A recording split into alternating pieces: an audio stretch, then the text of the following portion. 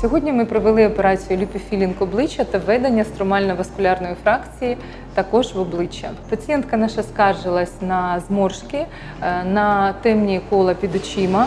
Дрібні та великі зморшки. За рахунок жиру ми заповнюємо дуже багато проблемних зон.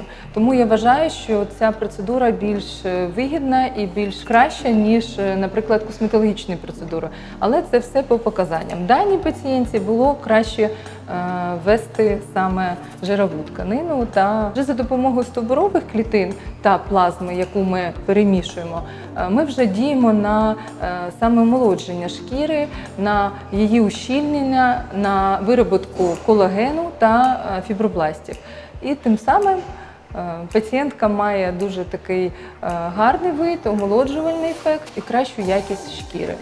Ефект, звісно, одразу пацієнтка бачить, але все ж таки це складнюється, звісно, травматичністю операції, і результат вже буде через тиждень, коли пройдуть набряки.